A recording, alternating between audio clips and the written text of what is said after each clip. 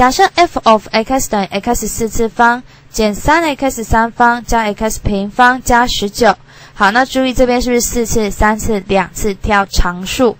所以这中间呢还有一个一次项，所以我们要补上去，补上零 x。好，那我们现在要来求的是 f of 二减零零二的近似值到小数点以后第三位。以下呢四舍五入。好，那二减零零二要带进去算这个四次方不容易算，所以我们要用一个小小的技巧。我们要先把我们的 f of x 呢以 x 减二来表示。如果我们可以用 x 减二来表示，当我们的二点零零二带进来的时候呢，就变成了二点零零二减二，所有的括号呢就会变成了零点零零二。好，那零点零零二的不管是四次、三次、两次，是不是都比较方便计算呢？所以，我们这整个题目你要知道要用 x 减二来先表示这个多项式。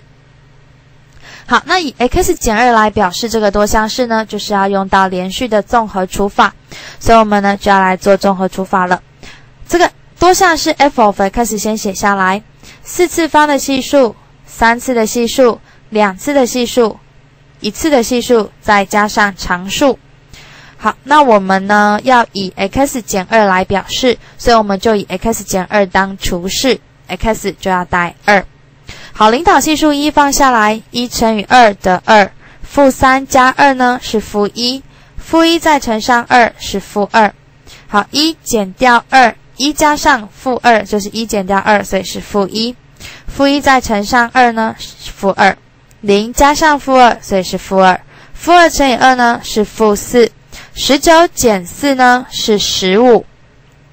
好，所以我们的十五先留着，继续连续综合除法呢。我们要再继续运算，领导系数一放下来，一乘以二，好，负一加二等于一，一再乘以二，好，负一再加二呢就等于一，一再乘上二呢是二，负二加二等于零，好，于是留着。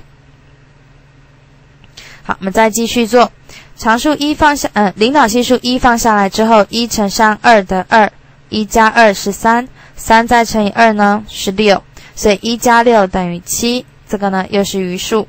好，我们快做完喽，加油！领导系数一放下来，一再乘上二，所以这里是二。三加二等于五。好，所以这个呢是余式。那我们的商式呢就只剩下一个常数，所以就不用再算下去了。那么我们的 f of x 呢就可以用 x 减二来表示了。最高项是四次，所以这个呢一。的后面带的就是 x 减二的四次，好，那再来下一个五呢，带的就是三次，再来七是二次，再来这个零是一次，最后常数呢是十五。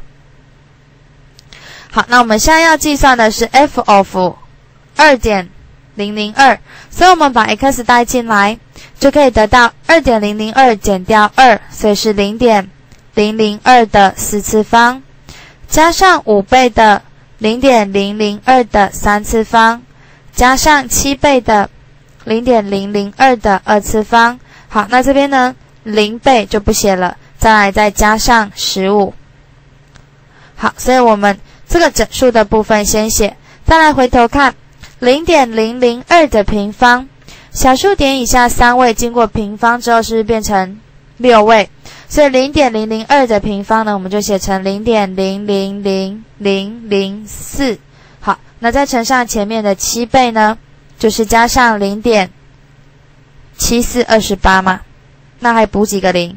补四个零，所以零点零零零零二八。好，那平方上就已经到了六小数以下六位了。所以三次方呢，跟四次方呢，都可以忽略不计。好，所以我们的近似值就是十五加上零点零零零零二八。但是我们只要要求到小数点以后第三位，所以我只要算到这里。以下呢四舍五入，这边是零，所以我们就直接舍去。所以我们最后的近似值的答案呢，就会等于十五。